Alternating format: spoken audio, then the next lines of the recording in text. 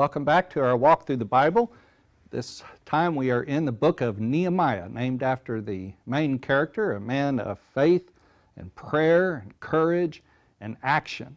And in the book of Nehemiah, there are leadership principles that just come jumping out after us in, in every page, uh, along with the book of Joshua. Nehemiah is one of the premier books on leadership in all of the Old Testament. And it really uh, affirms the principle that leadership is action. Leadership is a verb, it's action, not position. With position comes responsibility. And Nehemiah shows that it is prayer and it's courage, it's faith, it's action that makes the difference. As we mentioned last time with the book of Ezra, the two books, Ezra and Nehemiah, in the Hebrew Scriptures were combined. There was no break between Ezra 10 and Nehemiah chapter 1.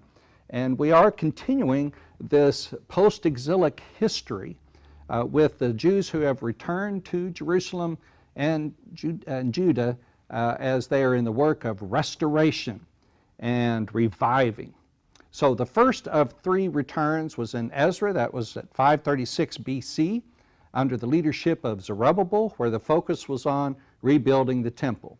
Then the second return, also in the book of Ezra, was that of Ezra himself, the priest, the scribe, who returned in 488 BC, and his ministry was calling people to repentance. So we might say the rebuilding of lives. And now in the book of Nehemiah, we are coming to the third return, that of Nehemiah himself in 444 uh, BC. So we're introduced to him while he's still in Persia, serving as cupbearer to the king. And he has asked a question from one of the Jews who had been to Jerusalem and had returned back to Persia. He said, How, How's everyone doing? And the report was bad. And so our introduction to him is that he is struck by this. We want to mention his emotions a little bit more here in a few minutes. But that really was the impetus for uh, his return, was hearing how the people were in great distress and reproach. So his return is going to be the rebuilding of the walls. So we have the rebuilding of the temple, the ongoing work of rebuilding the lives with Ezra, and he's going to continue that work in the book of Nehemiah. And then we have Nehemiah himself who focuses on rebuilding the walls. Uh, he'll actually return back to Persia for um, a, period of time, about a year, uh, after 11 years, and, uh, and then come back to Jerusalem, and we'll pick up with some of his comments there in chapter 13.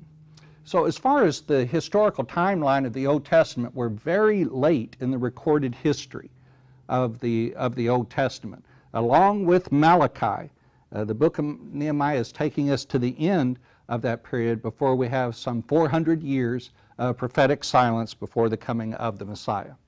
So, a two point outline of the book of Nehemiah would be uh, number one, the uh, reconstruction of the walls, that's chapters 1 through 6, and then the restructuring or the restoration of the people, and that is chapters 7 through 13. So consider with me a, uh, a, the four steps that are evident with Nehemiah when it came to the rebuilding of the walls. Uh, the first step was prayer. As he is filled with emotion, as he is weeping over the report, uh, he goes into a period of fasting and prayer. He's getting God involved in this situation. That's in chapter 1 and verse 4. And along with prayer, with Nehemiah, we see throughout the book comes confession. Now, again, we're some 94 years after the first return, but there's still a confession of the sins of the people down in verse 6, realizing that this is why they were in this situation in the first place, was because of their sins. So he's confessing this to God, he's petitioning God uh, there in, in chapter 1, filled with emotions. He's not holding back his emotions. You know, what you grieve over speaks volumes as to what is important to you. Um, we, he did not go around as a person who wore his feelings on his sleeves if he was a cupbearer to the king, because the king wanted everyone around him to be happy. But this is something that was worthy of grieving over, that being the condition of his people. So when the king notices some four months later uh, his change in disposition. He'll ask him, What do you want me to do about it? And Nehemiah again prays. And all of the prayers that are listed in Nehemiah, some eight prayers, they're all short. He's just coming to God on the spot, getting him involved. So the first step, first leadership principle that we see in the rebuilding of the walls is prayer. The second step is fact finding. And we see that in chapter 2.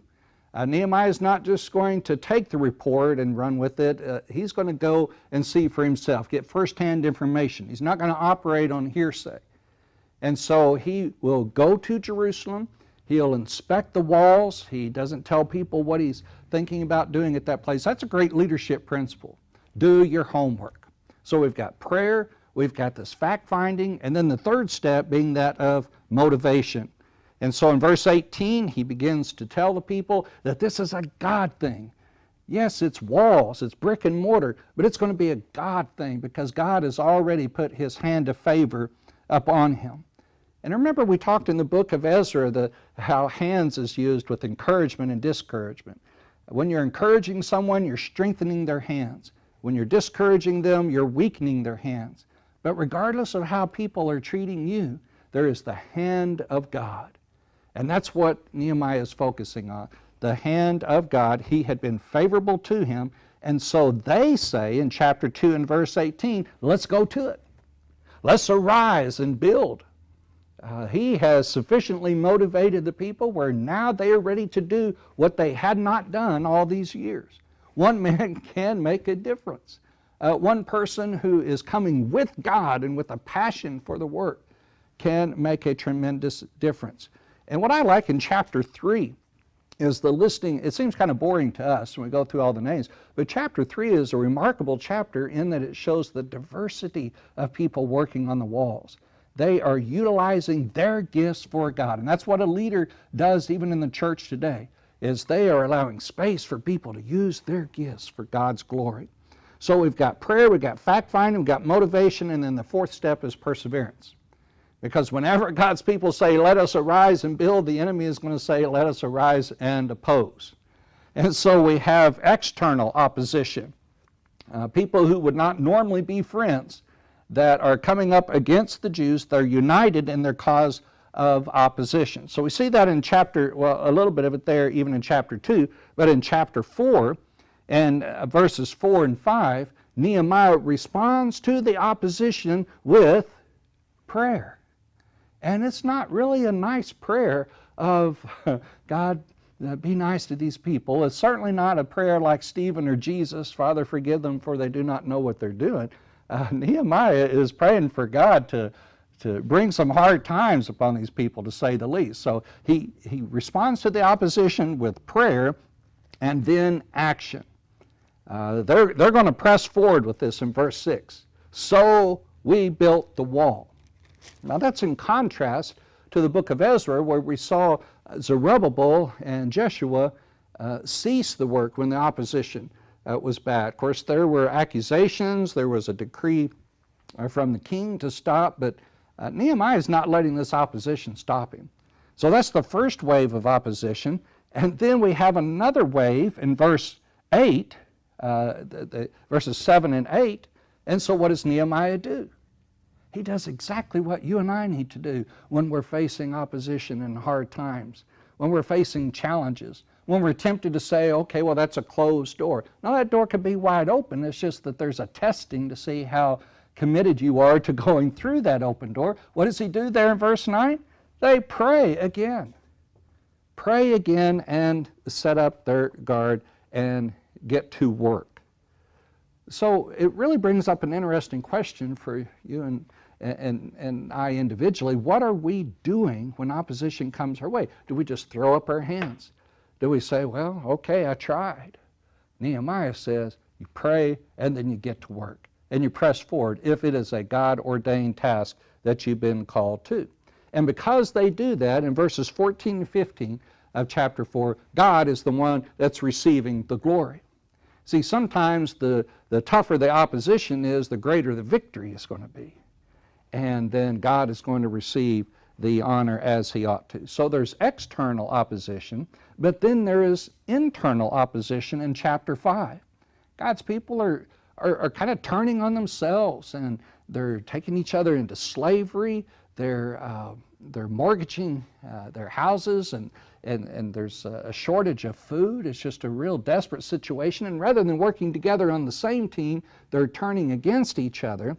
And what we see beginning in verse 6 is that Nehemiah gets very angry about this. He, uh, he confronts it. And sometimes leaders have to do that. They have to say, this just isn't right.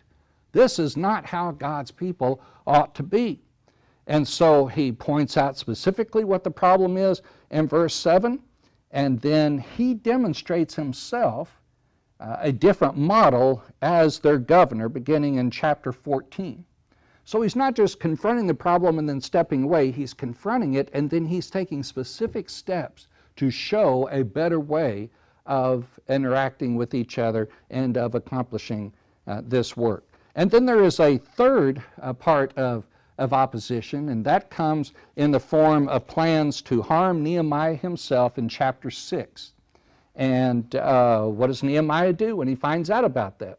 Look at verse 9, the second part of, verse 9.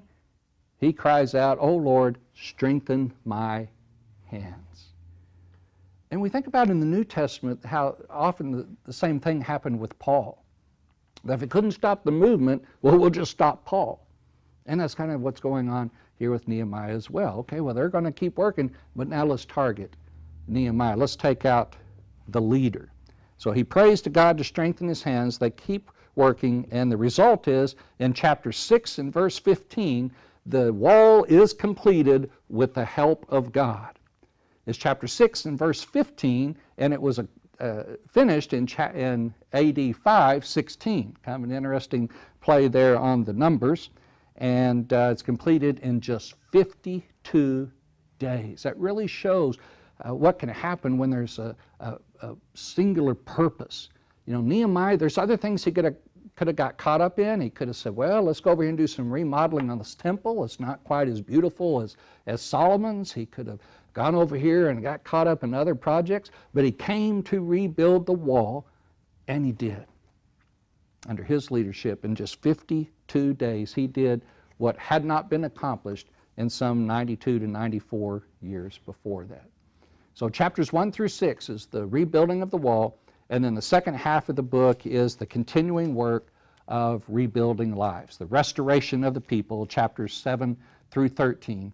And quickly, there are four key elements in this that are still true today. The first one is the role of teaching God's people. Chapter 8 is, uh, is, is just this uh, wonderful passage on what happens when God's Word is being taught and hearts are receiving His Word and being convicted by His Word. Ezra is taking on, as we mentioned last time, a, a, a modified role of the scribe.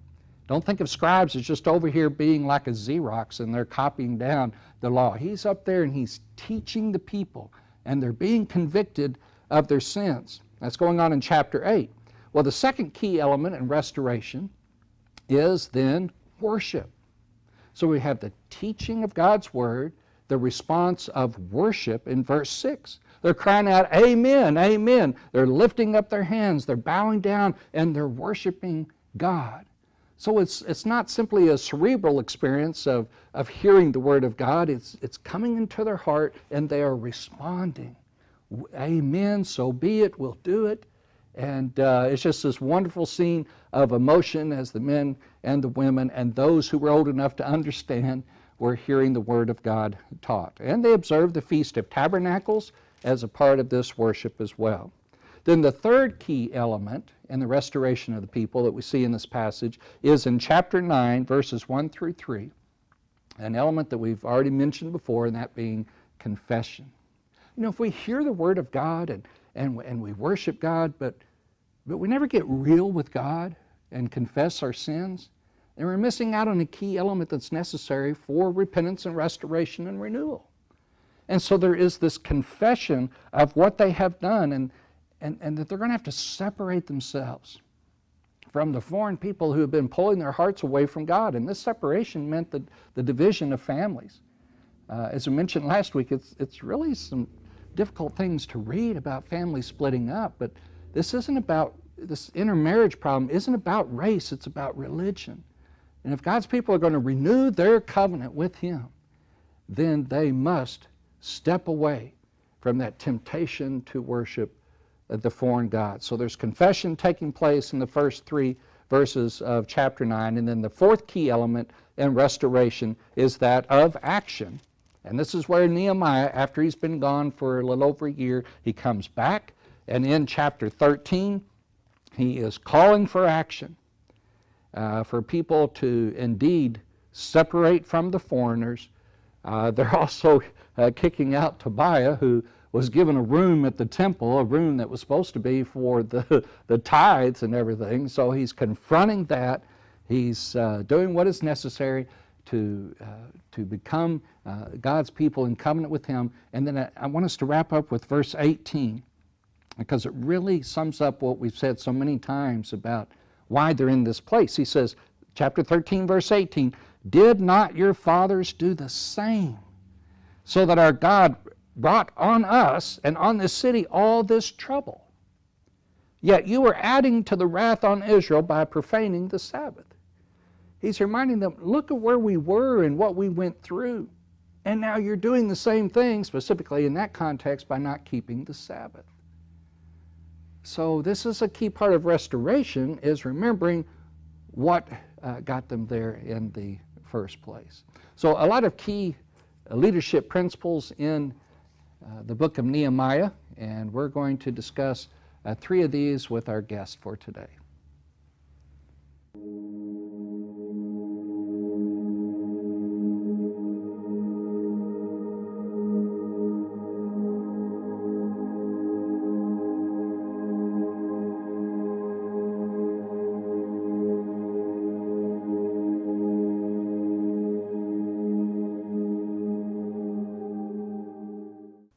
Like to welcome Quadrick Brumfield to our discussion on Nehemiah. Welcome, Quad. Yeah, good to be here. Thank you. Good to have you with us. Yeah. We appreciate all you do at Sylvan Hills and especially your work as a shepherd.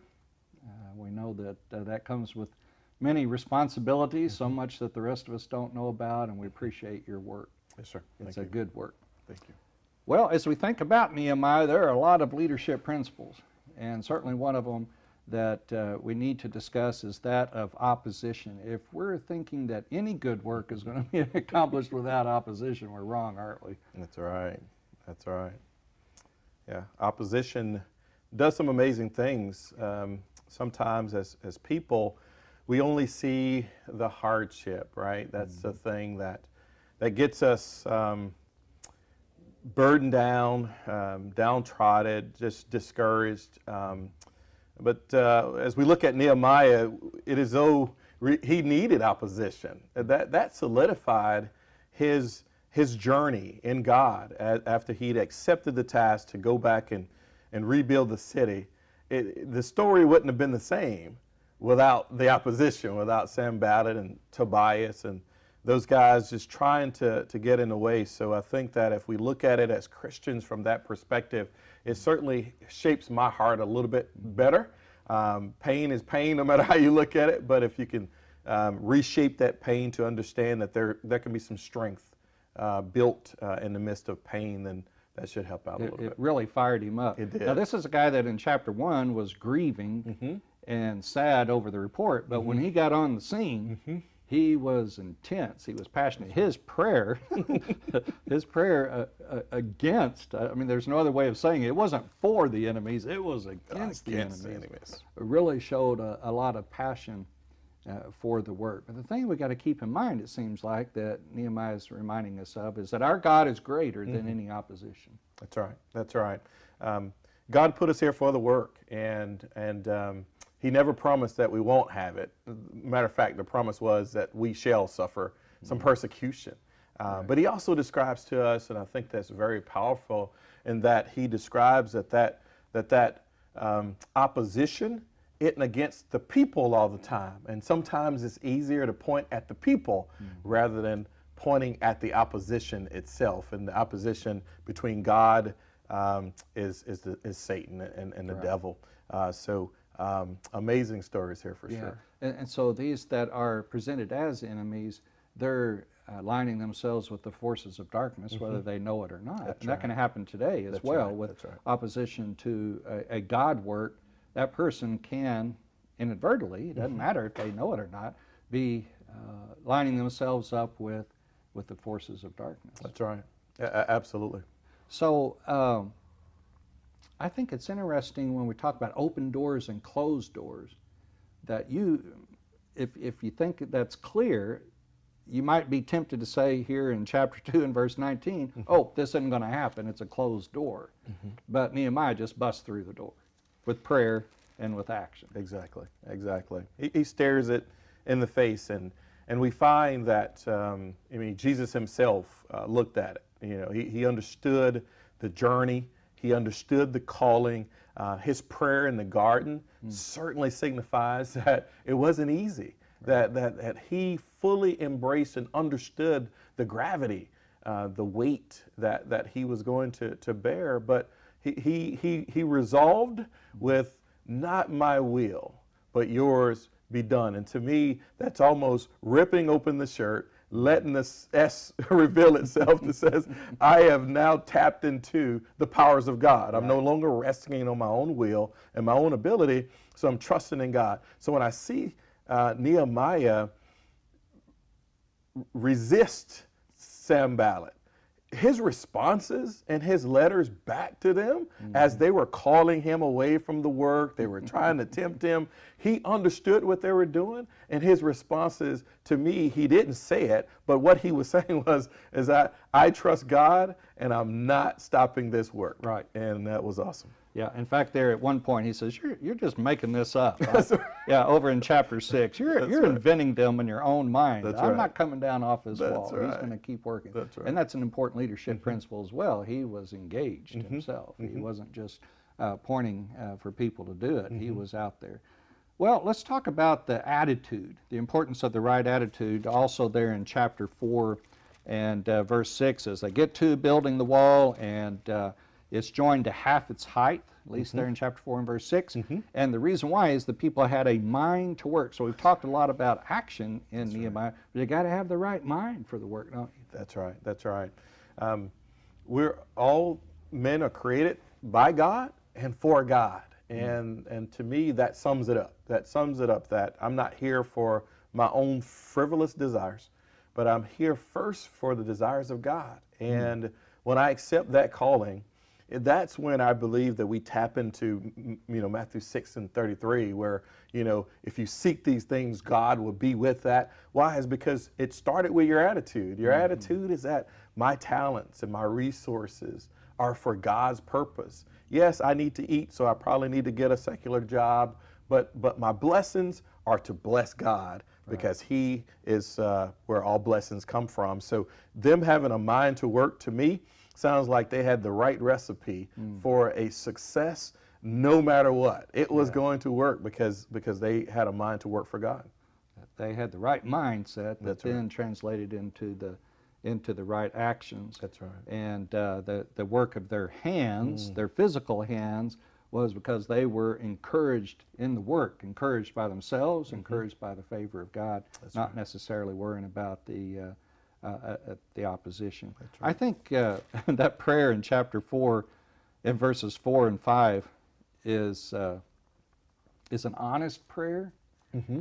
You know, uh, Jesus tells us to uh, to pray for those who persecute us and love our enemies, but uh, this is such an important work. The walls representing their their establishment, their their identity. Not everyone's going to live within the walls, but but it's such an important part of who they are that he's passionate That's about. That's right. That's right. Uh, And, and I, you're absolutely right. And, and that's it's a powerful message, in that when we when I hear his his voice in understanding that you're talking about the enemy.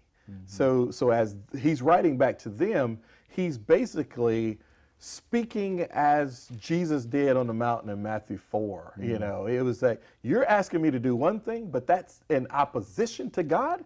I'm striking that down for God. And so when he says, God, do these things, he, he's basically saying, devil, we're talking to you. That's right. You're not going to stop us. And and so that um strong word choice that he Yeah. has there is just motivation that uh, he, he's not talking to the people, he's talking to the enemy that's at work in those men. And leaders got to be able to discern that. That's right. and not right. compromise or acquiesce. And, That's right. Uh, and thus the work That's right. slow down. And, and Nehemiah has a great example on this mindset of, of the work over in chapter 5 and verse 16. He says, And I applied myself Mm-hmm. to the work on this wall. And he's making adjustments even in his own Mm-hmm. uh, uh, rights that he had that he did not take full advantage of, very much like Paul, so that he can set the uh, example himself. So he's demonstrating the right attitude as well. That's right. Well, let's go over to uh, later on in chapter 4, verses 9 through 20, where we have this incredible example again of Nehemiah praying, Mm-hmm. but then they take up weapons. That's right. So it, it really shows us that you got to have prayer, but also responsible That's actions. right. That's right. That's right. You can be um, wise as serpents and humble as doves at the same time.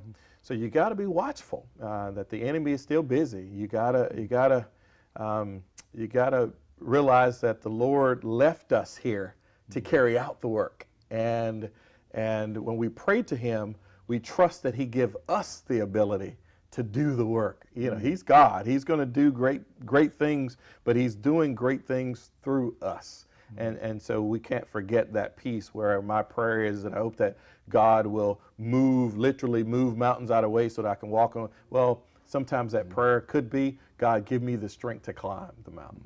Mm-hmm. Okay. Yeah, Rather than watch. Exactly. watch. Exactly. Yeah. And, and we've had those times in our study thus far of the Old Testament where God's given them the victory, but they're still moving out. That's right. Now, there's times when they get there and nothing happens because He's already taken care of it. And e- even here in chapter 4 and verse 15, uh, God frustrates their plan. So we're trusting He's working behind the scenes, but we still got to do our part. That's right. That's and, right. uh, it's not a 50 50 thing, it's That's full right. trust in God, but it's also being personally uh, responsible. So I'd, I'd like for you to speak to verses 13 and, and 14 about how the, the motivation of family comes into this aspect of, of responsible behavior. Uh, Nehemiah is really appealing uh, to Mm-hmm. them as a family unit Uh, within the larger group. I- I- It's it's amazing, and and uh, his context um, speaks uh, much like the context of the of the Word of God, uh, and the context of leadership. Um, uh, as leaders, we understand God's context uh, for for Christianity is a family element. Uh, we have responsibilities for each individual to to um, make their calling and their election sure. That's that's an individual thing. However, when we look at the dynamics of, of the way God set things in place, um, it's it's very similar to the context of the church, the leadership structure and how service is there, and we all work together as a unit to make the whole um, work. So here, it's it's amazing how. Um, the family of God comes together to protect each other, to serve each other, to work with each other for the better good of, of what is supposed to be a community um, fortress. Where, where all, we, have, we have a responsibility. I need my daughter praying for me. Just because I'm dad and I'm the leader of the home doesn't mean I don't need her prayers. I need my daughter's prayers. I need my son's blessings. Um, I need my wife's uh, motivation uh, to help me do the work, but they also need mine. And so we're working together to make the Brumfield household. Right. Um, uh, we protect each other from the enemy.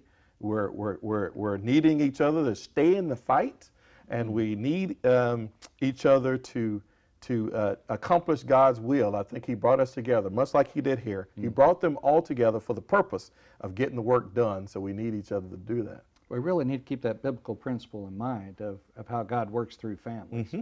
Uh, the family concept comes under attack today. Mm-hmm. Of uh, you know, it's not really all that important. But uh, here's a great example in verses uh, 13 and 14, where it is a motivating factor. Do this, fight for your families. That's right. Uh, yes, we're doing this as a community, larger community, but your family, your your wife, your daughters, right. um, your sons, your houses, uh, do this.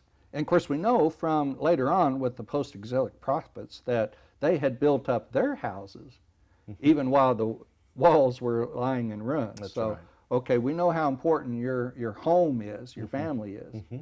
but now we've got this larger That's right. project that ties into that, and that that's really true about the church today That's as well. exactly right. There's a connection. That's right. That's right. There's a passage that say, you know, you've you've built up your houses while mine lay in, in ruins, and, and so um, the connotation is there. The connotation is there. The responsibility is for us to work together um, as, as a home. And if I can't be responsible in my home to work together to be one unit, then it's very difficult for me to do that for the church because the church is comprised of families. There it is. That's The strength of our church is With the families. is with the families. sir.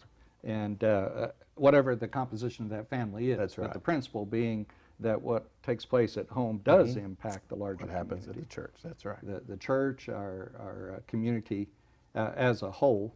But uh, because of this responsible effort, the prayer that came before that, then we see God is getting the credit for this Mm-hmm. in, in verse 15, as he should. And uh, that's after they were working with one hand and had the weapon in the other hand. And so there was, it doesn't seem like there's any arrogance in this passage on their part of look what we did.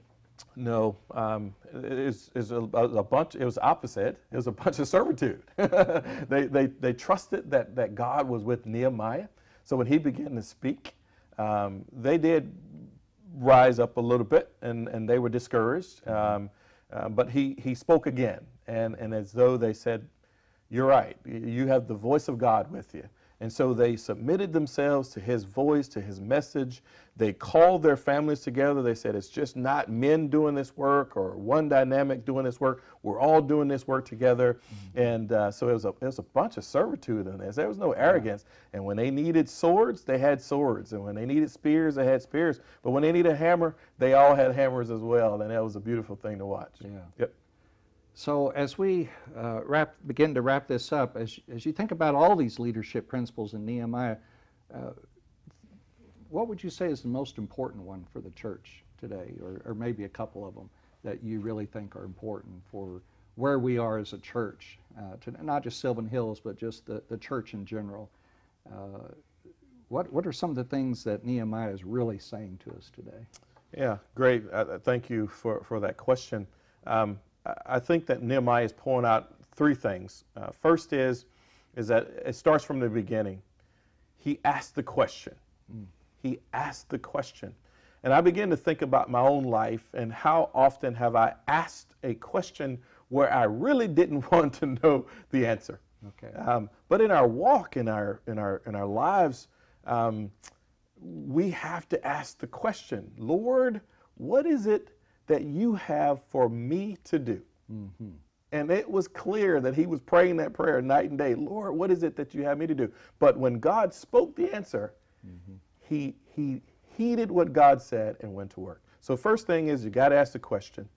The second thing is that you must be willing to do the work. Mm. Um, so I don't know if Nehemiah had some predisposition about what was going on based on the small response that he got from his brother who said, The work is great there. Did he fully understand? Did he fully mm-hmm. comprehend what he was about to get in?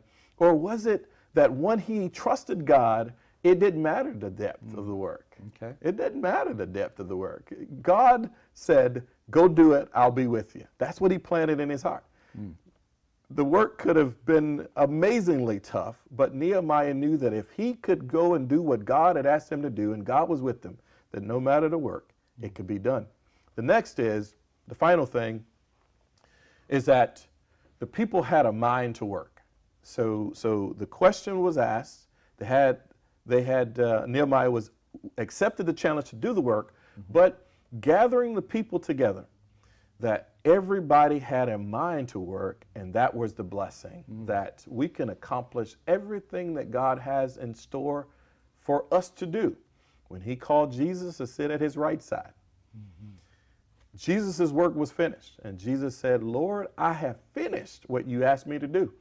Now, each individual that's been left behind for the purpose of doing God's business, we too must be able to call out to God God, I have finished what you have asked for me to do. And in order for us to do that, we have to have a mind Yeah. to work. To work. Yep.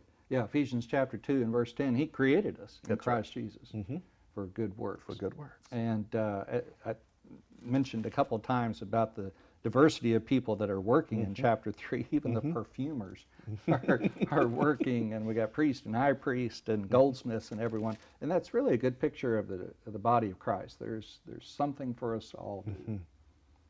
And uh, we just need to put our minds to it Mm-hmm. and uh, work together on it and give God the glory. I, I love chapter 1 and verse 5, Mm-hmm. uh, one of his eight prayers where he is crying out to the God of heaven, the great and awesome God. And That's that's, the same God that That's we right. serve today, Amen. who is willing to bless us beyond measure That's right. when we have the mind to work and do the work. That's right. Yesterday, the same God, yesterday, today, and tomorrow. Amen. He does not change. Amen. Amen. Well, thank you, brother, for being with us and uh, giving us a good taste of what's in Nehemiah with so much more there. I hope that our study has been beneficial to you Mm-hmm. and uh, appreciate you joining us for this study.